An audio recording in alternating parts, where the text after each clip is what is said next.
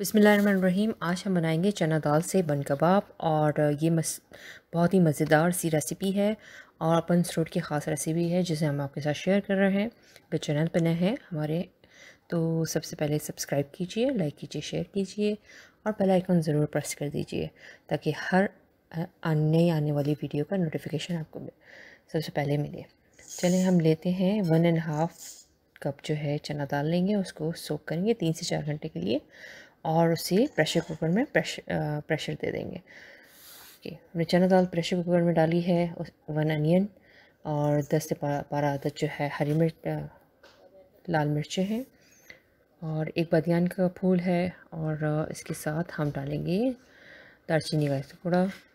लहसुन अदरक कुटा हुआ आप इसमें ऐड करेंगे, ताज़ा ऐड करेंगे तो ज़्यादा अच्छा फ्लेवर आता है। हाफ़ टी स्पून नमक डालेंगे इसमें। ठीक है। हाफ़ टी स्पून नमक डालने के बाद हाफ़ टी स्पून हल्दी डालेंगे इसमें ऐड ऐड करेंगे। हल्दी ऐड करने के बाद हम इसमें ऐड करेंगे डेढ़ कप पानी। ये कप जिससे मैंने मेजर किया है वन एंड हाफ़ कप मैंने किया है। बारह मिनट का इसको मैं प्रेशर दूँगी। अगर आपका प्रेशर कुकर ज़्यादा टाइम लेता है तो आप अपने हिसाब से उसे प्रेशर दे दीजिए। दाल अच्छी तरह से गल चुकी है। देखिए, पानी इसका सुखाना है। और इसको हम एक अलग पॉट में निकाल लेंगे और उसका पानी सुखा देंगे। पानी बिल्कुल सुखाने के बाद मैंने हैंड मिक्सी से इसको मिक्स मिक्स कर लिया है। इस तरह दाल को अच्छी तरह से मैश कर लिया है। दाल अच्छी तरह से मैश हो चुकी है तमाम मसाले इसमें मैश हो चुके हैं। अब इसमें हम एक बॉयल एक लार्ज जो है, आलू जो है उसको बॉईल करेंगे और उसमें ऐड कर लेंगे इसको मैश कर लेंगे हाथ की मदद से। सी आलू से यह होता है कि इसकी बाइंडिंग अच्छी रहती है और दाल बिखरने नहीं पाती है।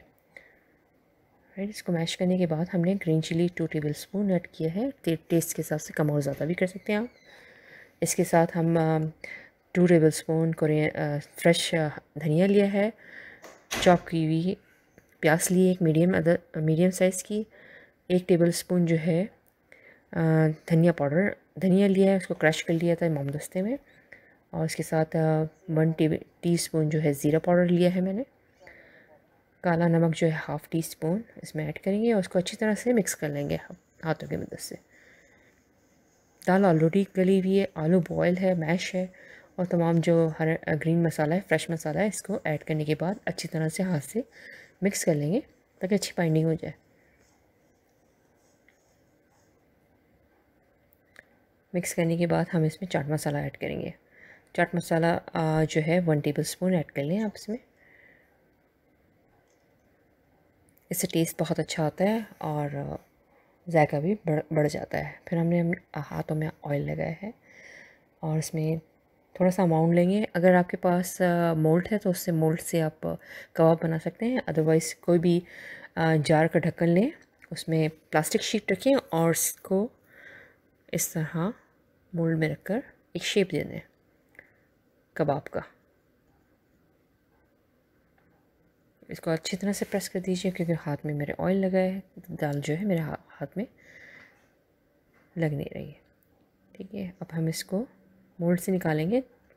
थिकनेस जो है आप अपने हिसाब से कम और ज़्यादा भी कर सकते हैं। या हाथ से आप ज़रा सा ऑयल लगाएँ हाथ में और कबाब की तरह इसको दे दें। मगर हम चूँकि बाज़ार की तरह बना रहे हैं तो उसको बाज़ार का लग दिया है। बिल्कुल वैसे ही तैयार हो चुका है और एक पैन में मैंने ऑयल गर्म किया है। हम दो तरह से बनाएँगे। हमने ऑल पर्पस फ्लावर और मैदा लिया है, ठीक है? और इसको हम मैदे में सबसे पहले डिप करेंगे। अच्छी तरह से कोट करेंगे मैदे में। मैदे में कोट करने के बाद उसको हम जो है, एक अंडा हमने फेंट कर रखा है। अंडे में डिप करेंगे और उसको फ्राई कर लेंगे। अगर अंडे को स्किप करना चाहते हैं तो डायरेक्ट आप इस तरह फ्राई कर लें। ठीक है? आपने मैदे में कोट किया है और इस तरह फ्राई कर लें। मीडियम हीट पे हम इसको फ्राई करेंगे। एक तरफ़ से फ्राई हो जाए, पाँच से सात मिनट लगेंगे, फिर इसको पलट देंगे। अब दूसरे तरीके में बता देते हैं हम। तो दूसरे तरीके से हमने जो फ्राई किया है, उसमें हमने अंडे की कोडिंग के साथ फ्राई किया है। ये देखें एक अंडा फेंट लीजिए आप। दोनों ऑप्शन आपके पास है। अंडे को हमने फेंट लिया है, फिर इसको हम अंडे में डिप करेंगे और डीप फ्राई कर लेंगे। ठीक है? पहले हमने मैदे से डीप फ्राई किया था मैदे में अच्छी तरह से कोट कर लिया था। या मैदा नहीं मैदा या फिर चावल का आटा है हो तो चावल का आटा भी ऐड कर सकते हैं आप आ, या फिर मैदा। दोनों में कोट करके और उसको इस तरह फ्राई कर लें। या दूसरा तरीका ये है आप अंडे में अच्छी तरह से डिप करें और इसको फ्राई कर दें। बिल्कुल शामी कबाब का लुक आएगा इसमें। और उसका टेस्ट भी, आपको पता ही नहीं लगेगा खाने में कि ये शामी कबाब है या फिर आप दाल का कबाब है। अच्छे से मैंने अंडे में कोट कर लिया है, इसको मैं फ्राई कर रही हूँ। एक एक करके सारे फ्राई कर लेंगे। इसमें थोड़ी सी एहतियात करनी ये होती है कि आप जब मैदे में डिप करके, कोट करके आपको फ्राई करेंगे तो उसको जल्दी ही नहीं पलटाना है, वरना वो बिखर जाएँगे। एक तरह से अच्छी तरह से पक जाएँ। तो फिर उसको आप पलट सकते हैं। एक दाल के कबाब तैयार हो चुके हैं। देख सकते हैं आप। बिल्कुल भी बिखरे नहीं है ये अंडे की कोडिंग के साथ जो मैंने फ्राई किया है। और दाल की कोडिंग के साथ मैंने फ्राई किया था तो मगर उसको आप, आप जब टर्न करेंगे तो थोड़ी सी देर में कीजिए पाँच मिनट या सात मिनट के बाद उसको टर्न कीजिए। दाल के कबाब बिल्कुल तैयार हैं हमारे। और हम इसे संभल करते हैं बन कबाब के साथ। एक एक करके आप सारे कबाब बना लें।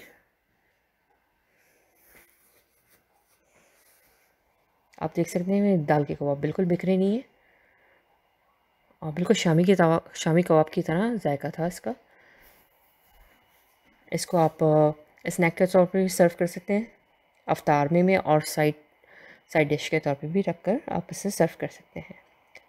थोड़ी सी प्याज और दही के रायते के साथ। कबाब बिल्कुल तैयार है।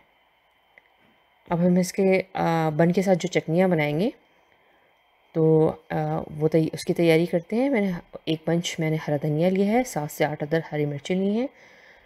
और इसके बाद मैं ऐड करूँगी इसमें थोड़ा सा पानी।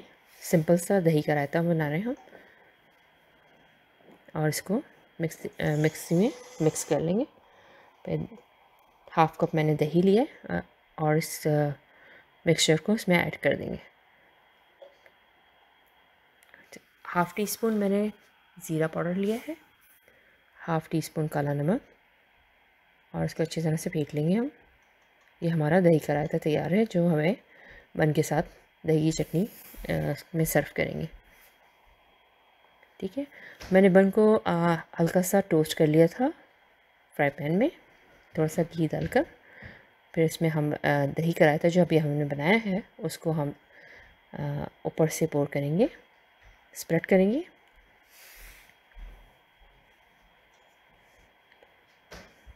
बारीक कटी हुई लच्छेदार आप प्याज काटें, इसके साथ सर्व कीजिए। बिल्कुल स्ट्रीट स्टाइल में जिस तरह मिलती है, वैसे ही हमने इसको कट किया है। ठीक है? फिर इसके बाद हम दाल का कबाब रखेंगे। दाल का कबाब रखने के बाद। अब हम इसमें प्याज रखेंगे इसके ऊपर।